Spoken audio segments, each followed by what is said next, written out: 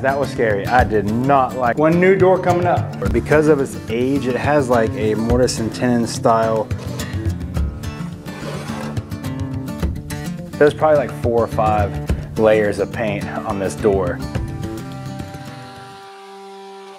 So this week's project is going to be getting this door refinished. Now we did all reclaimed or vintage found doors in our new house we built. And the plan was to go back one at a time and kind of refinish them, clean them up, get them the way that we want.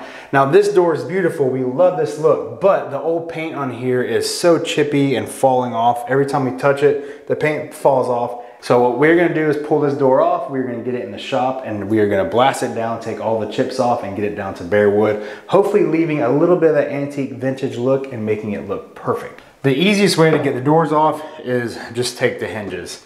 On the back of these doors, there is hinge pins and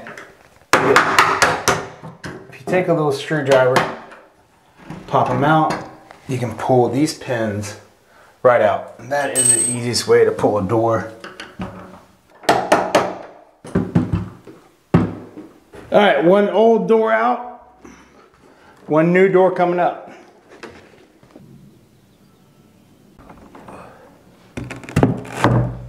As you can see, this door has a lot of layers of old paint. So first step is probably take this scraper, a couple putty knives, screwdrivers, and just scrape every bit of loose stuff off that I can get.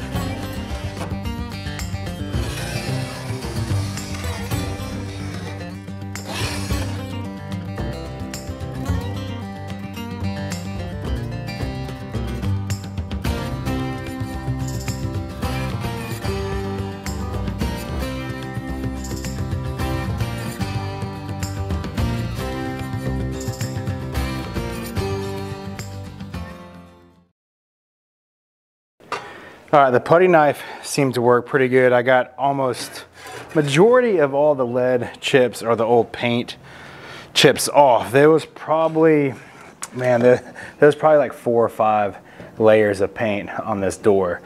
And I'm sure a couple of these layers are probably lead paint. So that's why I got the mask up and the eyeglasses.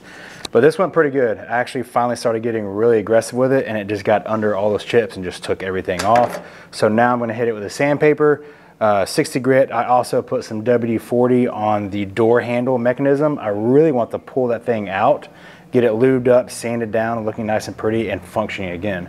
So we're hitting the sandpaper, starting with 60. Hopefully we get this thing down, a majority of it down to bare wood.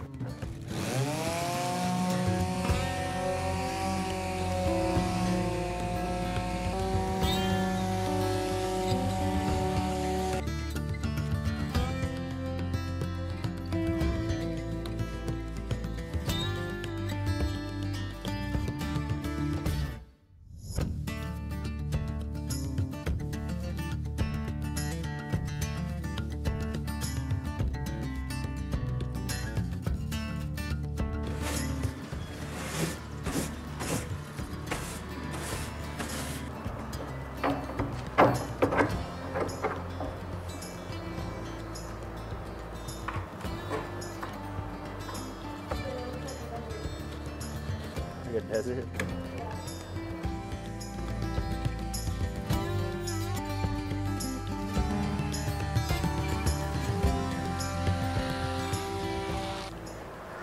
All right, I got it exactly where I want it. As you can see, it turned out so pretty. It's blonde, you know, it exposed the good wood. That was a 60 grit.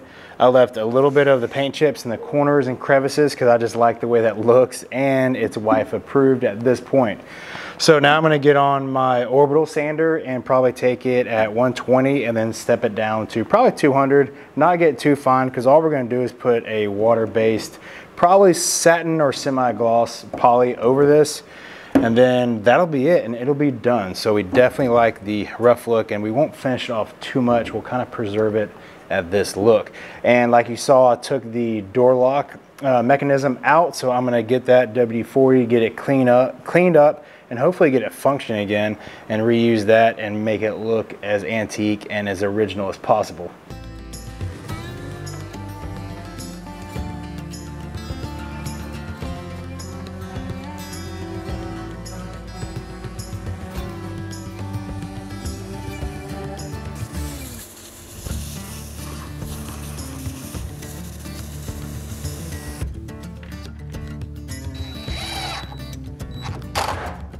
One last thing we have to address before I get a stain on this thing and call it done is the gaps in the door. Because of its age, it has like a mortise and tenon style um, connection from the outer rim and the inside panels. And that is holding up well for its age and secure and all that, but there is a little bit of sag in it. And as you can see right here, there's a little bit of separation. It's not coming out completely, but it is separated just a little bit.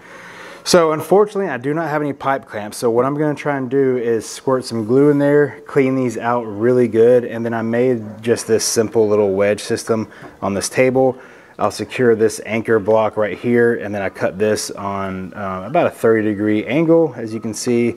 And once the glue is in there, I will try and just hammer these out and screw them down to the table and then secure or put a squeeze on the door as best I can fingers crossed, hopefully that'll do the trick and in the morning it'll be secured and not as saggy as it was before.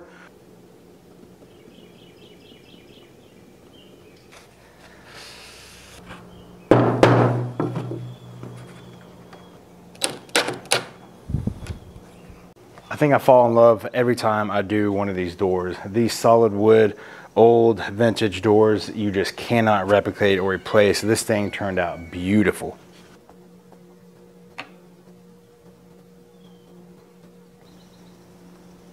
She's tucked in for the night while the glue dries. In the morning, it'll be easy process, get it cleaned up and rehang it.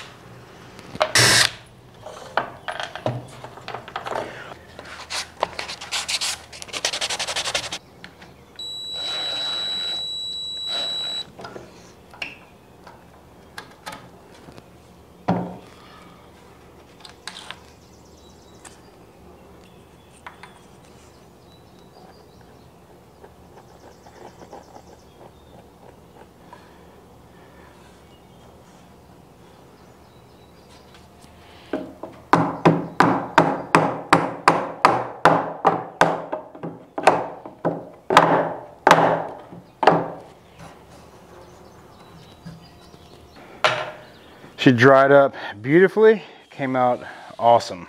For paint, we're gonna use a water-based satin polyurethane indoor coating. And that should not give it a super bright sheen, but it should kind of enhance its natural colors and seal it up.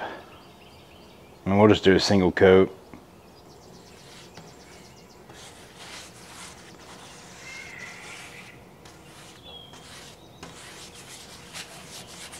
That was scary. I did not like the way that polyurethane was coming out. Trial and error, it was satin. I didn't realize it was going to put that big of a shine and make it that much darker. So I quickly, I stopped and I wiped it off with a rag and some lacquer thinner. And now we're gonna hit it with a 220 again.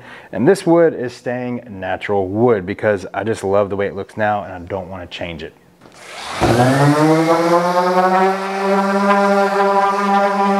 Door is exactly where we want it. It looks perfect. I'm gonna stop at that point.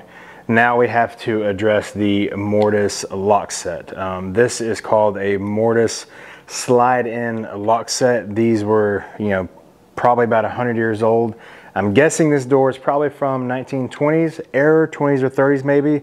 Um, this is a BLW. It looks like it has a part number of 1500 and it's kind of busted apart on the inside and it did not work. It was all frozen. So we're gonna take it apart and clean it, try and put everything back together and fingers crossed we can get this thing to work.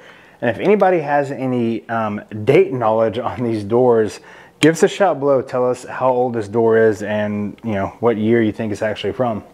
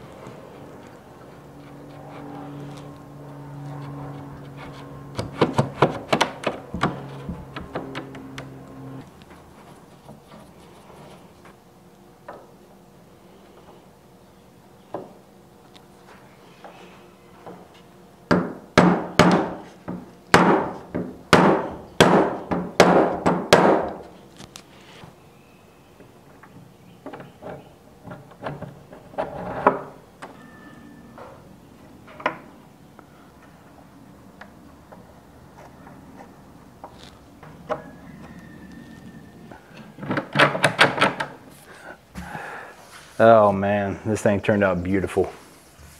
I wish all y'all could see this thing in person. Um, the photo or video does not do it justice. It is beautiful. Funny thing is, this is one of the doors that we were considering not using because it was in such bad shape. And now it quickly turned into one of my favorite doors. Probably over 100 years old. Love it. All right, let's go get this thing installed.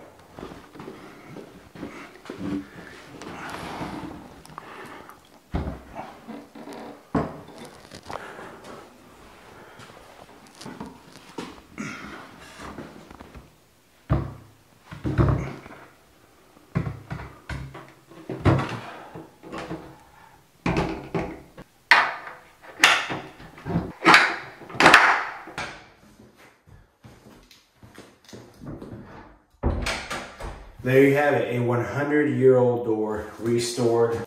Thank you guys for watching. As always, please like and subscribe if you're interested in this type of content, and we will see you next week for another project. God bless.